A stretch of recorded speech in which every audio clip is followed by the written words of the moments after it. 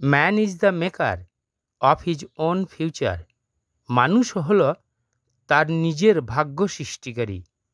We can not prosper in our life আমরা আমাদের জীবনে উন্নতি করতে পারি না if we are afraid of labour যদি আমরা পরিশ্রমে ভয় পাই।